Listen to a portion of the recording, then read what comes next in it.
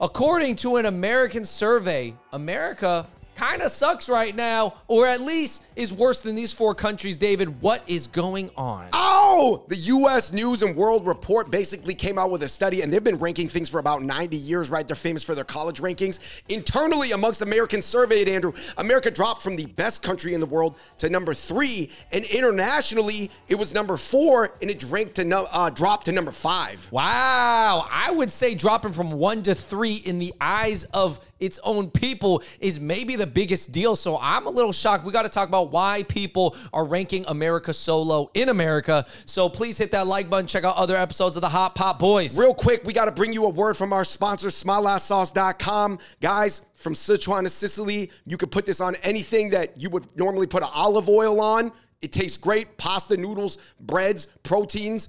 I'm telling you guys, there's nothing like this on the market available right now. SmileSauce.com. All right, everybody. I mean, David, is this is this kind of shocking? Um, honestly, if you are a macro bird's eye thinker, and I don't think you need to be that much of a crazy, you know, Einstein, Malcolm Gladwell intellectual to really get this, people are unhappy in America right now. Right. So I guess what are the metrics that people ranked America so low on? Okay, so this is internally the thing that dropped it from one to three internally was Andrew people losing trust in government practices minus 61 spots minus in business practices minus 39 spots having a favorable tax environment minus 27 spots and income equality minus 21 spots mm. that's what caused for the gigantic rank to drop internally so that's more reflective of how americans feel about themselves however americans rank themselves really high on international alliances and dynamic economy that's what the rest of the world actually agreed with. However, yeah. here are the spots, Andrew, that Americans ranked themselves higher than other people thought. Okay. They said more affordable, more scenic, um, higher racial equity and caring about the environment. Those are the ones where Americans ranked America much higher than the international community. Right. Did. So it just kind of shows that sometimes, obviously, people of the international community are viewing your country as one way, but internally you're like, I don't know, we're doing a pretty good job. And then other people are like, oh, yeah, I mean, actually, you're probably overlooking this aspect. Right. Because they have a different perspective. Yeah. Uh, I would say, to be honest, international people know more about America than America and Americans are know about international people. Right, but also I will say internationally you're more likely to hear about the negative things about a country, and that probably goes for every country. Right. So right. let's go take a look at the US internal rankings, Andrew. That's what we're more focused on today.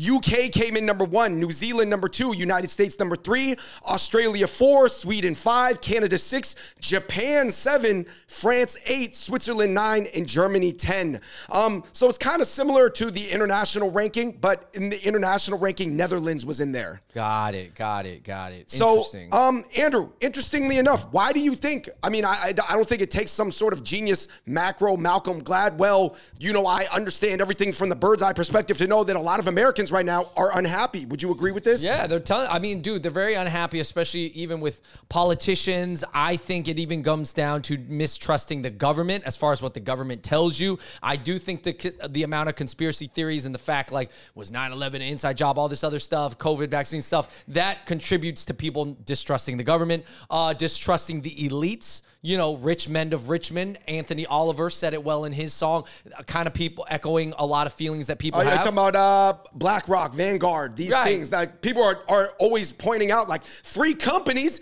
they own everything, yeah. left and right. You, you trace it all back up to the top. Look at the money. Exactly. Also, distrust of each other, obviously, and distrust of a lot of immigrants coming in, whether that's mm. undocumented or like different minorities. Like uh, heritage Americans, whether they're white or black, may not feel like that minorities or immigrants are on the same page as them. They may not be assimilating at the rate or or in the style that they were in the 1970s for yeah. sure, right? 50 years later. Yeah, and then also I mean, I would say everybody agrees though that if you're poor and ambitious, that America is still a great country to come to. Yeah, it ranked number 1 in dynamic economic it, agility it, both internally and globally. It is true, but also on like, you know, terms of safety or what it seems like stability and controversy it just seems like we got a lot in America right now. So I think that's why a lot of people are like, "Hmm, you know, I don't really know if I would if I would rank America number 1 overall, you know. It right. seems like life in Switzerland or Canada might just be more chill. Although I do love the amount of money I can make in America. How much do you think it is just like individual positioning because everybody who's polled, Andrew, it's not like they're a professional bird's eye intellectual macro thinker, right? When I mean macro, I'm not talking about macro in a photographic sense that's just up close. I'm talking about in a bird's eye. Like, not everybody is a satellite tier thinker on the earth, right? Where they're analyzing this and analyzing that. They might just be thinking about their own life. Because let's say, for example, somebody were to go to a second world country, right? Second world country means that it's it's still in a developing economy. Um, it's not there yet, right? But you made somebody the richest person or the coolest person or the biggest, the Leonardo DiCaprio of a second world country. Wouldn't they love their life? Mm. Even though that technically is a much worse country. Yeah, yeah. And I think that whoever was polled probably, to be honest, was more in the middle class. I think that's what I'm assuming. You're talking about the bulk distribution. Of the people surveyed were probably considered the middle class of their country. Right. You're saying if you make somebody the king of any country, they're probably going to like it. Well, they're going to like their life, even though the country might be in the dumps or struggling. Anyway, Probably. guys, let's get into the comments section. Um, somebody said, man, Japan is great. Japan is the only uh, Asian country that's amongst the top 10 countries. They got a respectful society. They work 12 hours a day, very little crime. People listen to the laws, people follow protocol, they love rituals. Man, all that stuff that's not happening in America these days. Mm, um, Japan, the, cl- hey, the classic Japan argument. Once again, man, people love Japan. Um, yeah, there's trade-offs, guys, but obviously, yeah, Japan is a very different society. I encourage everybody to go check it out and study it. Um, but it doesn't mean that's possible in every place on earth, to be honest. Um, somebody said these surveys always make me wonder who in the U.S. is being polled, huh? Somebody was saying, yeah, I mean, does the U.S. deserve to be number three? And some people were saying that U.S. number three internally was too high, and some people thought that was too low. Mm, so, so I mean, I guess how much does it? It doesn't matter who was polled, right? Yeah, and it also just matters on what you feel. Obviously, this person's making a comment saying, "How can a country with daily mass shootings be ranked this high?" And it's like, yeah, again, I think it's on personal basis. If you are not affected by any of the mass shootings or you're not scared of it, then you know, essentially you're not going to count it against America. America is a very large game map. Like if we were to use gamer terms, right? And not everybody is living in the same fishbowl. Like, and not everybody's job is to like go to travel to everybody's fishbowl and study it, right? Um, somebody said, why did the US get number three? Someone said, yeah, to me, somebody said, yeah, you guys got to move to Texas if you think that the US ain't number one. And somebody said, what do you mean? Texas is ass. Outside of East and West Coast, the US has nothing. And then someone said, yeah, if Texas is ass, huh? What do you call San Francisco, California? That thing's falling apart. I can see the videos right here. Does it go back to the fish bowls? Yeah, man. Everybody's just living in a different America. Um, somebody said the UK being number one is wild. As someone who lives in the UK right now, I really need to know whoever made this list to be for real right now. Because I'm telling you, I must be living in the wrong UK then. So this is people from the UK being like, I, had, I don't think you Americans have any idea what's going on over here. Yeah, I think it'd be really interesting to go through all the metrics and what each country was said to be good at. Like, is is like housing prices better in the UK?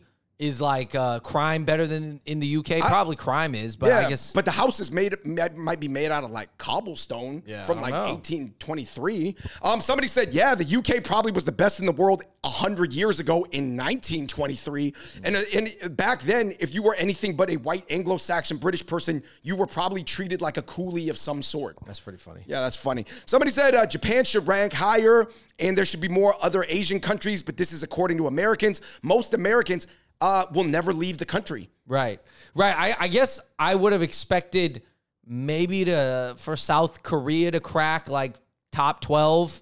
I don't uh, know. It, I, I, looked it up. South Korea is in the top 15. Oh, okay. It's in the top 15. Yeah, that makes sense. But yeah, yeah, you might think there was more comments about that. We're going to get to that and later. what about, whoa, whoa, whoa, David, what about Singapore? Where is Singapore on all these lists? Mm, I think that those places as much as the youth know about them, I think the older people who are totally the people who would file a US World and News report would not know about them because Singapore and South Korea, they more came up, I want to say, at least in people's consciousness last 10, 20 years. I mean, is it? I mean, let's just be honest. If you haven't traveled the world, aren't you just going to base it off media perception? Of course, New Zealand's up there. I'm not saying New Zealand isn't a great place, but I'm just saying you don't hear anything bad about New Zealand. Right. Somebody said, "Well, what about Japan, huh? What's so Japan is so good about it? You never can retire. You got to work until you die. Everything's stuck in the year 2000 even though it used to be advanced. They have no women's rights and xenophobia is rampant in the country if you're not Japanese." I mean, here's the thing, Andrew. I studied a lot about other places all those things can be true and not affect an expat moving to Japan, right? Because Yeah. they're not trying to become a Japanese citizen and become Japanese. And also, I think it affects different people differently. I mean, I mean, even if these things are true, at what level are they true? And right, do they apply to every single person? I think nowadays, man, everybody's individual positioning, and this is probably causing some of the discord and the division within countries. Nobody's really living the same life anymore. Like everybody's position, like you could be living in this country, I could be living in that same country, and our lives are so different. Somebody's saying, "Oh my goodness, more like the UK, it's former colonies, and then other friends." And somebody said, "Ew, it's just Western imperialists giving each other buddy awards."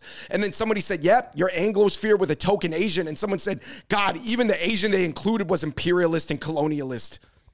Well, what does that say about being imperialist?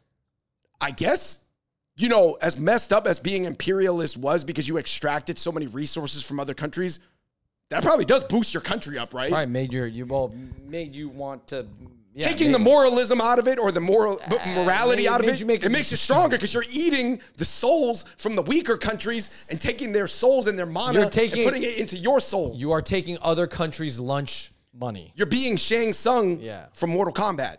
Um, somebody was like saying, man, when I'm smoking that good Cali weed, eating some bomb ass cheap crab curry and fresh mango sticky rice in Bangkok, you can't tell me Thailand ain't number one, if not top three.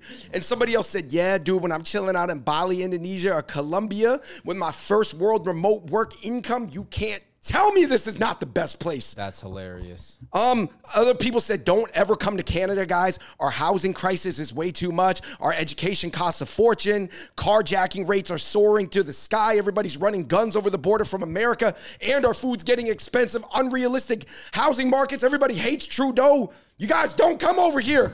uh, do you think Americans know anything about Canada? And do, do Canadians really understand America? I think Canadians are also trying to make sure not that many Americans move to Canada. I think they're trying to be like, hey guys, don't come to Canada. eh? It's kind of crazy but up here. I did hear recently that a lot of uh, Canadians are unsatisfied. hey man, people in America have been unsatisfied. Yeah, So it depends, it guys. What does it all mean? But if if you're the one shape shifting the system to your benefit, maybe you're like, oh, I love it. Um, somebody was saying, oh my goodness, all these liberal policies have ruined all these countries due to immigration. Of course, this is more of a conservative feeling or generalized talking point. Of course, the, the the tonnage could vary to be more moderate or more extreme, but that's generally uh, a conservative versus, I guess, liberal split in any new world country, Right. right? Or any English speaking country is immigration. exactly. Yeah. So Andrew, what are we thinking about now? Man, we could go on and on. There was so much arguing and people are going tit for tat, point for point. I guess these are just the classic arguments of 2023 right now that almost everything boils down to. Yeah, I mean, I mean, let us know in the comments down below what you think is the best country. Now, obviously, I think just because you enjoy vacationing in a country, that doesn't make it the best country to move and live in And become a citizen, right? Or, or it doesn't make it the best country to to grow up in. Because I'm sure a lot of people in Thailand, even though Thailand is a very enjoyable place when you are a vacationing When there, you are a upper middle class to rich, at least relative to that context, traveler, yeah, right? I'm sure growing up in Thailand has its own struggle. So, uh, yeah, Or I- what, what? Oh, you guys talk about Singapore so good, huh? You guys spend two years of your life do national service. Well, come on, that was a bad Singapore accent, guys. But yeah, you know what I mean. Like some countries that are so great, like you, you want to go to South Korea, Yeah. it's great. You know why Americans love going there, Andrew? They don't got to be in the military for two years. Well, you guys let us know in the comments down below, man. I'd like to hear your thoughts because I know that we have uh, uh, a lot of viewers who have either spent time in other countries as well. So Yeah. I guess, what do you got? How do you guys feel about America? You know, one thing that helped me understand really complex things because I realized that a lot of people who leave comments on the internet, Andrew, it's not their job to professionally understand the game map. They're just speaking professionally Right. about one thing their own life and their own impulses when they leave an impulsive comment on the internet. Like, I just think that it's almost like understanding stocks. You know, like sometimes the whole market's up, sometimes the whole market's down, sometimes it's blue chips are up and high growth tech is down, high growth tech is up, blue chips are down. You know what I mean? Gold, real estate, there's so much commodities. Like once you understand the stock market, you can kind of understand how there's like even um there's overall macro trends, but then there's a lot of weird nuanced ebbs and flows within the marketplace. Mm. And I think that that's kind of how I actually view country rankings. I think it's way too nuanced to sum up this way, but it could be representative of a big picture sentiment amongst the citizens.